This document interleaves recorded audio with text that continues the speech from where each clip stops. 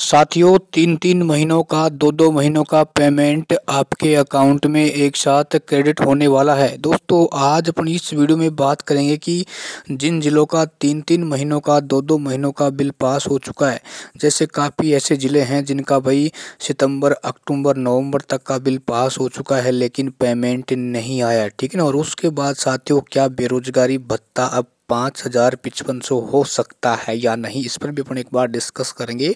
उससे पहले आगे बढ़ने से पहले छोटा सा निवेदन, साथियों, आप अपनी एस एस को ओपन करें और उसमें चेक करें, क्योंकि अभी भी काफ़ी ऐसे हमारे युवा साथी हैं, जिनकी नवंबर माह की जो अटेंडेंस अभी भी रिमार्क का ऑप्शन आ रहा है।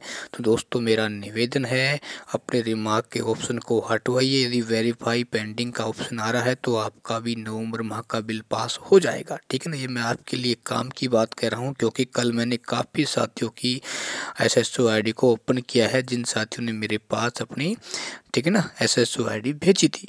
इन साथियों बात कर लेते हैं, आपका भाई बिल तो पास हो चुका है, लेकिन पेमेंट क्यों नहीं आ रहा? दोस्तों, मैंने पहले भी कहा है चित्तौड़गढ़ दौसा, भरतपुर वाले, आप निश्चित रहना कि भाई आपका पेमेंट है। दो दो, तीन तीन महीनों का साथियों, आपके अकाउंट में एक साथ ही आपको देखने को मिलेगा। यानी बारह बारह हज़ार और साढ़े तेरह हज़ार या नौ हज़ार या आठ हज़ार का जो पेमेंट है, आपके अकाउंट में आने वाले समय में हो सकता है आपको दो दो महीने का या तीन महीने का पेमेंट है, एक साथ अकाउंट में देखने को मिलेगा।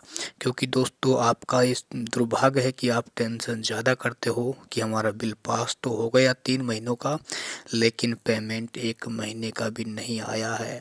दोस्तों, मैं हरदम कहता हूँ, यदि आप इस चैनल के माध्यम से जुड़े हुए हैं, यदि आप हमारा पूरा वीडियो देखते हैं तो इसके लिए आपको टेंशन करने की आवश्यकता कति भी नहीं होगी, क्योंकि जब ट्रेजरी डिपार्टमेंट के पास आपका बिल भेजा जाता है तो आपका जो पेमेंट होता है, एक क्रम वाइज डलता है, ठीक है ना? क्योंकि आपसे पहले का जिनका बिल पहुँचता है, उनका पेमेंट पहले डलता है, ठीक है? जैसे मान लो ट्रेजरी के पास आपके तीन महीनों का बिल पहुँचा है तो ट्रेजरी वाले आपका तीन महीने का ही पेमेंट एक साथ आपके एसबीआई अकाउंट में क्रेडिट करते हैं न कि एक महीने का।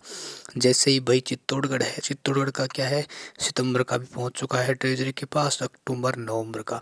तो जैसे ही भाई आपका रजिस्ट्रेशन नंबर से बिल उनके पास आएगा क्रम से तो तीन महीनों का वो एक साथ डालेंगे, ठीक है ना? ऐसा नहीं कि भाई वो अक्टूबर का पहले डालेंगे, नहीं, उनको काम पूरा करना है, ठीक है? तो आपको दो दो महीने का, तीन महीनों का पेमेंट आपके अकाउंट में एक साथ जल्दी ही देखने को साथियों मिल जाएगा, ठीक है ना?